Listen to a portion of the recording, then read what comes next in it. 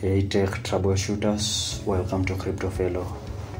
Today I'm showing you a quick and easy way to get your Microsoft Office back up and running if it's asking for activation.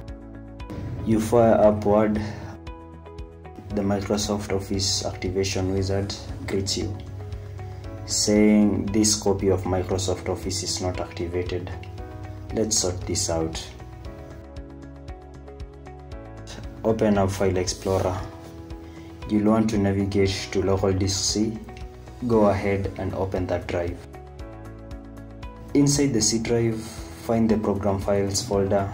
Open that one up. Next, scroll until you find Microsoft Office folder. Select. Now look for the Office 16 folder.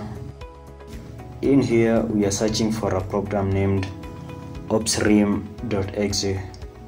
Once you spot it, right click it and this is key. Select run as administrator.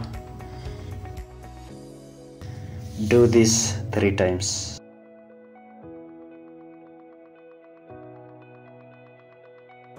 Perfect. You can now close the file explorer now. Let's relaunch Microsoft Word and see our handiwork. And there we have it, no more pesky activation wizard. Warning is gone, your Microsoft Office is fully functional again.